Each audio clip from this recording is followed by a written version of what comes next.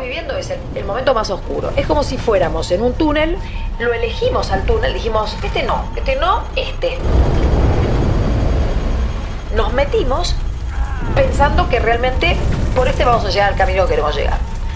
Resulta que vamos en el túnel y negro, negro, todo oscuro, te empieza a agarrar la claustrofobia, te empiezas a preguntar, che, pero iremos bien, no iremos bien.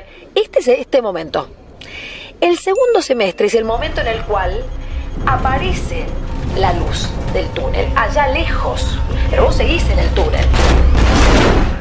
Empezamos a ver pequeñas luces, pero no vamos a sentir en, lo, en la vida familiar, digamos, una, un alivio, una reactivación, porque para que el crecimiento de la economía se dé, vamos así a esperar el año que viene.